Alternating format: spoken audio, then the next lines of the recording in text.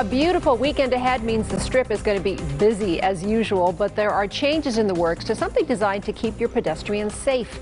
Thanks for joining us here at 11 o'clock. I'm Denise Valdez. And I'm Brian Loftus. Now, some say the bollards designed to keep cars off sidewalks are causing some issues. 8 News Now reporter Sasha Loftus joins us near the strip to explain.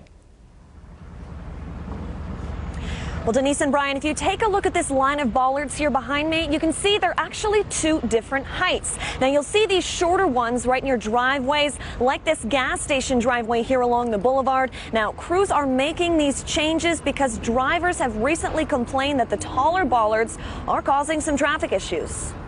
All these are blocking, they're like right even with our view. A saving grace for some has turned into a hazard for others. You hear people slamming on their brakes and horns honking because these are a little bit too high. These bollards are in place to create safety and structure for anyone walking along the strip. But it looks like their height is causing driver complications. Every time we pull out and we're making a right, it's hard to see to our left on the uh, incoming cars. After quite a few complaints, Clark County officials decided to take action. They're being proactive. I like that. Of the 4,500 installed on Las Vegas Boulevard, Crews are adjusting just under 300 bollards lining different driveways. Get it done, get them shortened, so make everybody a lot safer. The construction could cause some delays for the next few weeks, but those we spoke with say it's worth it. It's definitely obstructing people's view to try and turn out of the driveway. So people can feel protected whether they're traveling behind the wheel or exploring our city